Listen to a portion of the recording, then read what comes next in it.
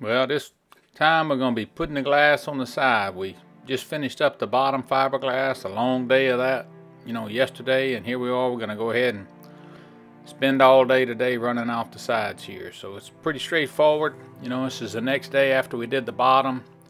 So I still got that bottom glass there where it, where it laid over the chines and uh, where it will actually double up on the chines. It, it some of it got a little proud of the side, so I just got my little scraper, got a razor knife there, and I'm just trying to trim off all of that like green fiberglass there, so so that that when that fiberglass comes up from the side of the hull and rolls onto that chine, it doesn't poke it out or anything, so it can lay in there nice and flat. Even trying to maybe cut it back on a little bit of a bevel and there it is, I got my scraper. I had already pulled some thickened epoxy right there in that little bitty bow pointed section. And uh, from the day before, it was just a little more rigid than I like or than I would prefer. I want to make sure this stuff lays down nice and pretty. So I actually just take my little scraper, come back in there, scrape all that off, and then uh, to make sure that I have a clean surface, I got a little brush. And you know, the important part right now is I got to get the radio working. So being on time lapse, I can run the radio. You know, it's what I did all day long. So that's what I'm doing here. As you can see, you know, some of that stuff as it comes off kind of sticks to the side of the boat. So I'm just trying to clean the surface, make sure everything's good to go.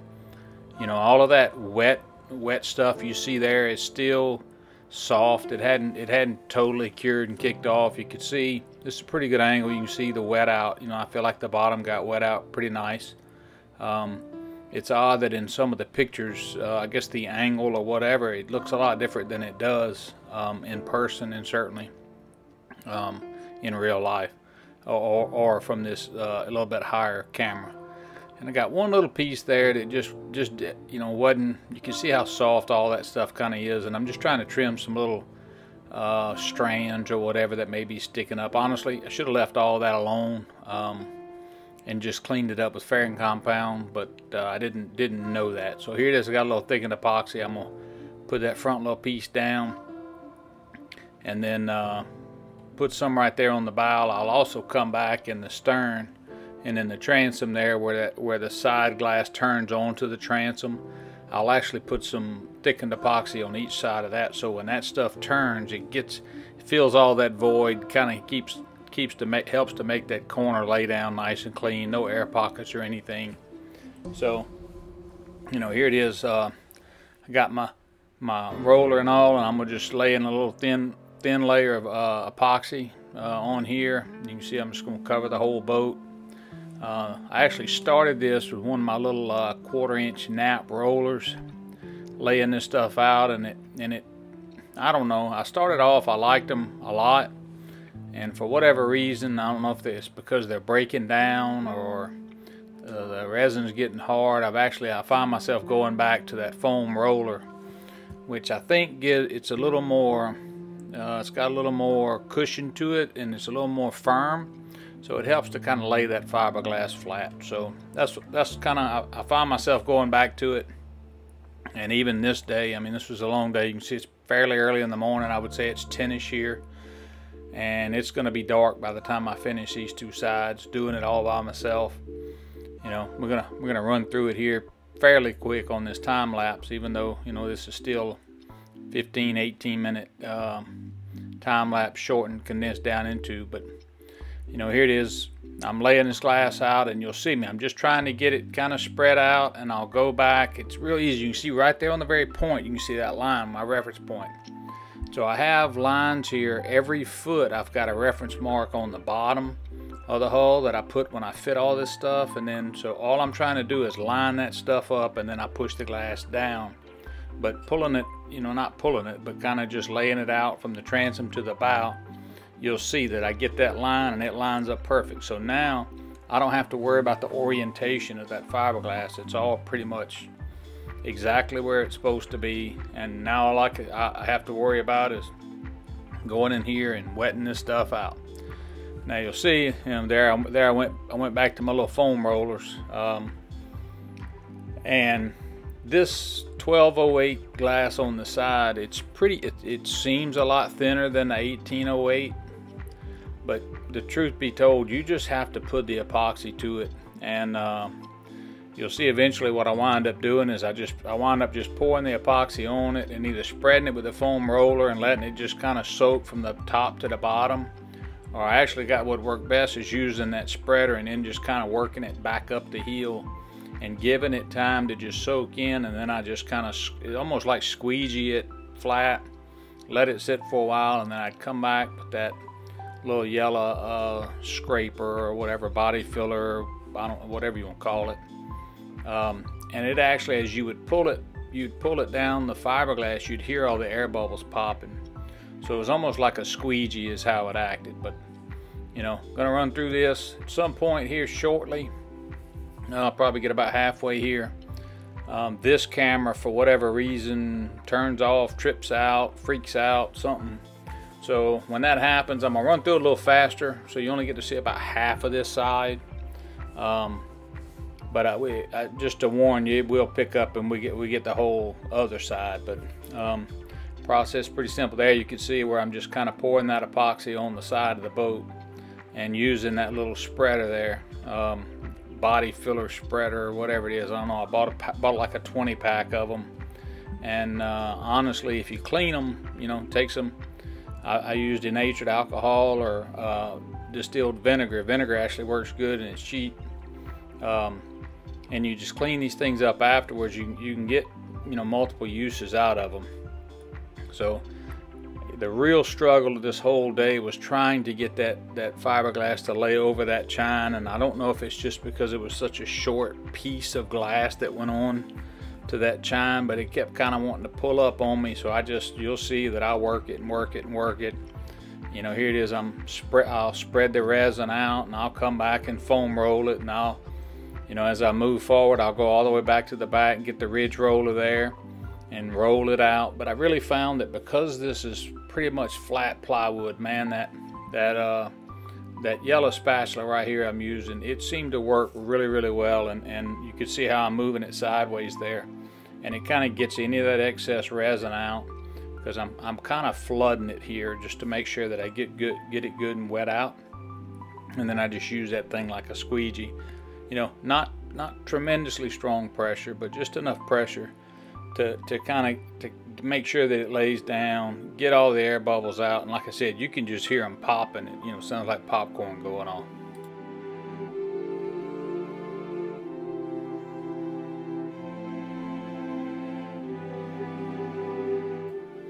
Once again, I, I, was mixing epoxy here in relatively small batches. I'm still only mixing probably about 26 ounces at a time.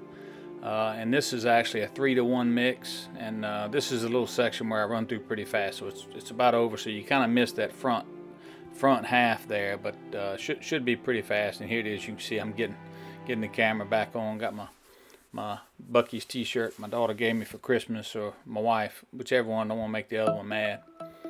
But, uh, you know, here it is. Just go back and roll it, roll it. You know, I, I rolled all of this. And like I said, I worked on these chines and you, you know, you'll see I'm, I'm working on them now and I'll come back and I'll hit them again after I finish the other side. Just, I, I'm really worried trying to make sure that stuff lays down and as that epoxy starts to get tacky, uh, it, it, does help it. So I'm just uh, find out working it. Once again, in the end, I found what worked best was the little yellow spreader. Um, I could kind of put it on an angle from the top um, that would kind of push the epoxy to the edge and then I'd get on the other side and angle it again and I could I could just lay that stuff back in there. Kind of hard to describe. I hope to show that better when I get to the fairing when I'm working with these sharp edges. I saw something that I think I'm going to use and I started it but um, I think it'll show more the purpose of uh, how to use that spreader on an angle and how to move that material where you want it uh, as you as you're trying to get stuff to lay flat. So here it is. I'm about to start on the other side. Once again, just wetting it all out, rolling over it again. I'd already rolled on a base coat, but I'm just trying to hit it again here uh, so that it maybe it'll make it a little bit easier. And once again, I've got all my reference marks. It's hard to see them. You can't see them here but I'm just kind of getting it stretched out right here. Um, I'll go ahead and say I don't have any idea why I have that big old piece laying over here. I, I should have matched it up with the other side and had it more square, but I figured, well, I must have done it for a reason, so I left it. Um, I thought both sides were the same. Obviously, I can't see it right now, but anyway, I think that was just that's just something I kind of screwed up that I'm gonna have to fair out or I'll sand out or something. I don't know. But uh, once again, I have all my reference marks on this glass when I laid it out. Now I'm just getting that transom right. Um, and I've got that thickened epoxy laying right there on that corner, on that edge and so you can see it almost pushing through that glass. So if you if you have those sharp corners and you put a little bit of that, I say thickened epoxy. It's not super thick, but you put it on there and then you kind of let that glass push that, and it'll actually get into the glass and help to hold it down. And you can see here, just trying to roll that epoxy on. I mean, it just it takes a lot. You just have to you just got to put a lot of epoxy on it. what I find is just put a lot of it on there, let it soak in, and once it's soaked in, just start moving it in front of you. You know, moving it behind, spreading it out, and you'll see it works out pretty good. You're going to get a pretty good idea of me working with that spreader here in just a second.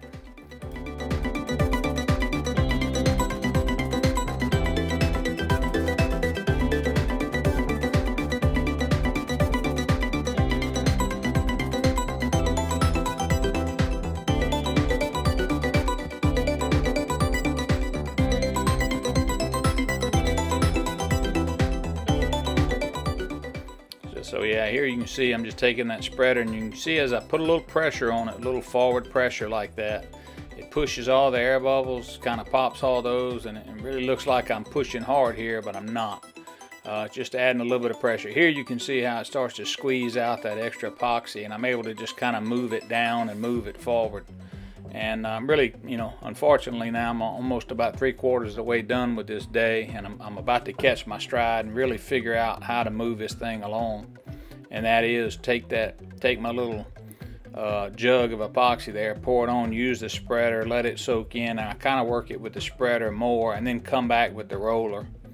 Um, just to try and help spread it out, help it wet out. And once again, that roller being soft, it kind of helps to put some pressure on it to make sure that you know it's all it's all wet out and the epoxy spread out. You don't have any you know really really wet spots or dry spots. It just helps to spread it out. I think the spreader does that too, but I, you know I don't know. Just rolling this stuff out. I feel like I roll it 10 times more than I should because I'm worried that it's not going to lay down flat or I'm going to have air under it or you know, I might be somebody like Kyle, and I, you know, I'd say that jokingly, Kyle. No offense, dude.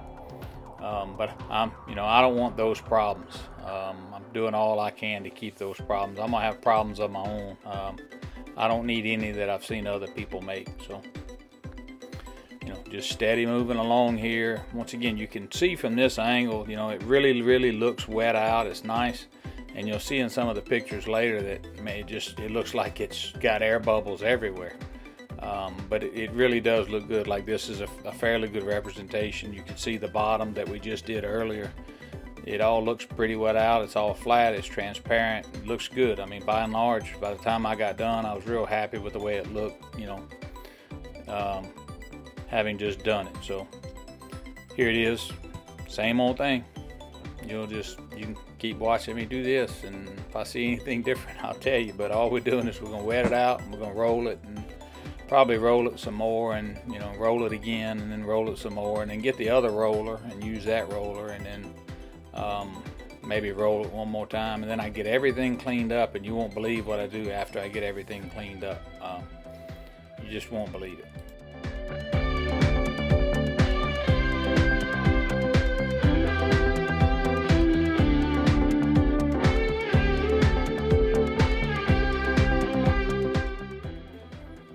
So this is a pretty good example here of how you saw me. I just taken, you know, it's easier when you get towards the front of the boat where it's not as steep, you know, it's not as straight up and down. Is you just, you know, pour that epoxy on that glass, use that little roller, and, and the spreader just works so much better that you just uh, spread it. And this is what I was talking about earlier, how to, how to use that spreader on an angle uh, you know, I kind of kind of make it where it'll push the epoxy right off of that edge, and then uh, you know from the top, and then come back and where it rolls it, it rolls it back up onto the top. So you make sure that you're keeping that that edge right there nice and wet, and then I come back and roll all you know any of that excess that came out. Just kind of roll it and spread it. And, you know, here I'm trying to put a little pressure on the roller to keep that edge nice and tight. And you know, also once you get way up in the in the bow of this thing, that that chine's falling off pretty good. You can just put that epoxy on there, and it'll kind of just work its way down by gravity, and then you just come back and roll it out. All worked out pretty good. So, you know, this is a, it's a learning experience. I've never done this before, so you know, I'm I'm happy with it. Once again, here. I'm all I'm doing is spreading and you know you can hear those little bubbles coming out like you know Rice Krispies or whatever so it's a pretty easy process from here on out because of course I'm almost done. You know once again this this odd little piece of fiberglass that's going across this bow here it looks it looks wet. I mean it looks like it's not wet out. I'm, I'm gonna put a lot more epoxy on it here you can see. Um, but but pay attention to how the pictures look later and it's just that much different than what this view looks like and and what it looks like in purpose I mean in person. It actually uh, it all wet out fine. It's all transparent, and I'm, I'm and I'm pretty happy with it.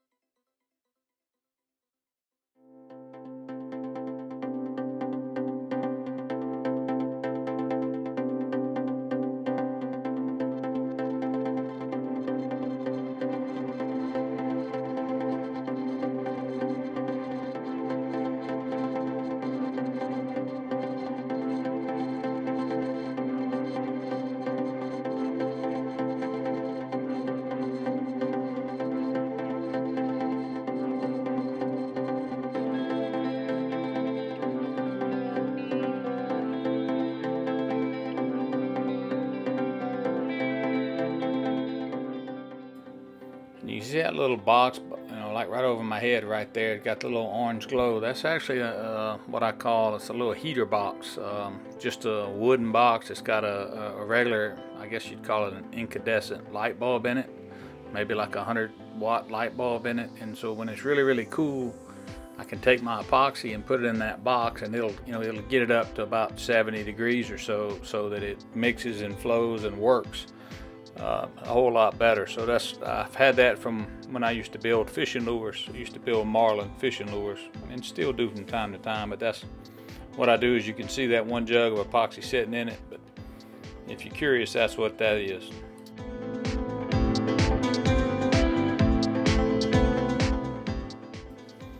So now day's kind of over with. I gotta, you know, gotta get shut down, and uh, you'll see me here breaking the tent down, closing it back up, and uh, you know uh, what happens next in the next video is something that I really wasn't expecting. I hadn't encountered yet on this build but uh, was able to get it straightened out once I figured out what happened. But uh, you know that's uh, once again I wanted to show the benefit of having my little rolling epoxy table there. I can I roll it around and get it out of my way or put it out there where, where it works better. I can reach it um, especially here where I had to get on, you know, kind of on my knees the whole time working around this thing. But, you know, once again, we're still just building a little old tent is all it is in the backyard. So, man, if I can do it here, you know, anybody can. It's working out, so we're gonna we're gonna keep going forward. And like I said, you wouldn't believe what I did after I got everything cleaned up. I went over it and started rolling on it again. So we'll see what happens next time. We, we working on it. It's gotten a lot slower with work and everything, but we're steady making progress. So we'll see y'all next time around. Check out our other stuff and make sure you subscribe if you hadn't yet.